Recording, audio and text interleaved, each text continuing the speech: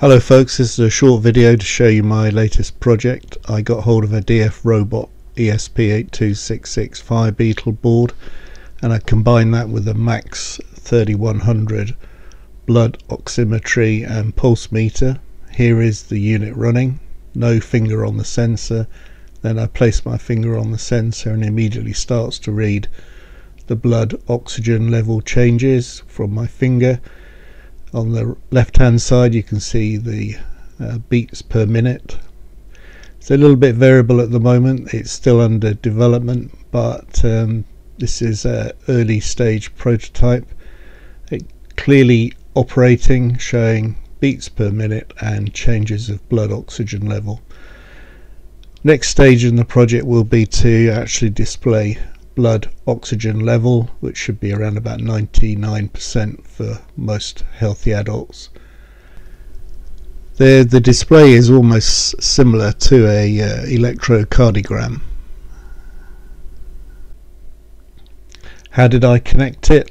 There is the Max 3100. It's the I2C bus connected over to the DF Robot ESP8266 on the uh, I2C bus pins.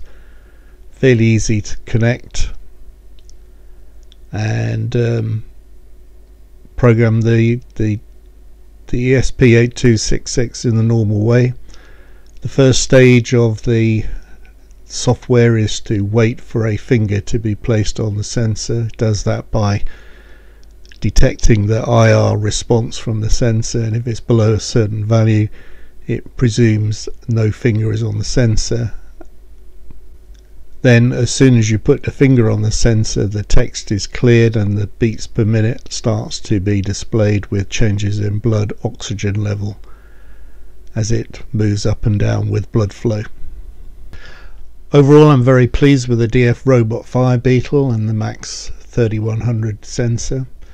The Fire Beetle is a predefined board in the Arduino IDE, so that makes compilation easy. You just select the board, obviously. The data and clock lines have pull-up resistors on the board so that you can operate the I2C bus at uh, the fast rate of 400 kilohertz. The DF Robot webpage has full schematics and a driver available, although I didn't need to install a driver. Has an onboard LED charger and uh, uses the CH340 UART. The onboard LiPo charger is extremely useful as the board will switch between 5 volt USB supply or the LiPo supply. There's lots of example codes on the on the DF robot web page and, and both boards are very easy to use and the Max 3100 sensor is very sensitive. You can use it for also measuring blood temperature or specifically blood oxygen level, which should be about 99%. The code for this project's on GitHub G6EJD. Um, enjoy. I hope you do.